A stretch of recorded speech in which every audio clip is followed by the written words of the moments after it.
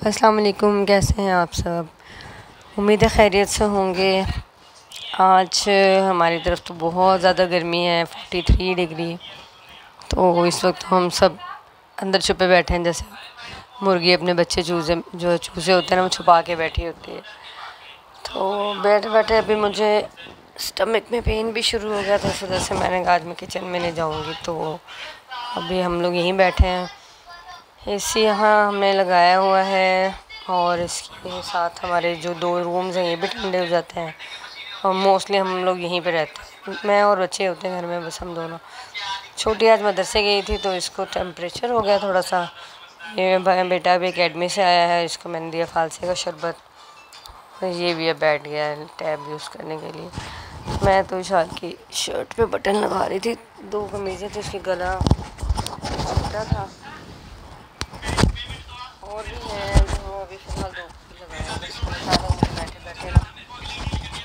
तबीयत ख़राब हो गई मेरी। फिर मैंने कहा, चलो मैं यहीं बैठ कर ही थोड़ी सी वीडियो बना लेती अच्छा जी, और आप लोग सुनाए, आप लोगों की तरफ़ क्या ऐसा है मौसम? क्या टेम्परेचर जा रहा है आजकल? बाहर की धूप की जो तपिश है ना, वो अंदर आ रही थी तो मैंने कहा, चलो इसको मैं पर्दे आगे कर थोड़ी सी ठंडक का एहसास ज़्यादा हो जाएगा। और बच्चे जो हैं वो स्टोरी सुन रहे हैं टैब पर। शायद कहते हैं, मम्मा, मुझे कोई हॉरर से स्टोरी लगा दो। मैंने कहा अच्छा जी हॉरर स्टोरी लगा देते तो वो देख रही थी बैठी। और इसके बाद देखें कोई और वीडियो बनानी हुई तो ठीक है अदरवाइज़ मैं इसी को अपलोड कर दूँगी आज। खाना कल बनाया था तो अभी मेरा ख्याल है वही पड़ा हुआ, बच्चों से कहूँगी वही खा लें या फिर बाज़ार से कुछ ले आएँगे ये लोग। और बस मेडिसिन लिए मैंने और मुझे यूँ लग रहा है जैसे मुझे बहुत ज़्यादा नींद आ रही है। वो अजीब सी ना, नकाहत सी होने लग जाती है दवाई से, जब दर्द हो स्टमक में। तो मैंने कहा चले अभी ज़रा ढीला ढाला सही बना लेते हैं। ब्लॉग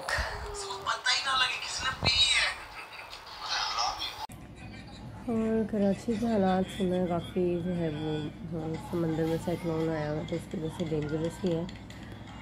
कभी वो पीछे चला जाता है, कभी वापस कहते हैं मुझे दोबारा कराची की तरफ़ आ गया बच्चों को थोड़ी फ़िक्र हुई थी क्योंकि मेरे अम्मी कराची में है, अम्मी और मेरे भाई वगैरह सब लोग उधर ही होता है। तो दुआ कीजिएगा आप सब लोग भी कि अल्लाह ताला इस आजमाइश से हमें बचाए, इस आफत से हमें निजात फरमाए। और ये जो साइक्लोन है जो भी तूफ़ान है ये कराची से अपना रुख मोड़ ले साइड पे हो जाए। हमेशा हर साल इन दिनों में आता ही है जून जुलाई के महीने में ना। तो लेकिन अल्लाह का शुक्र है कि साइड से ही चला जाता है।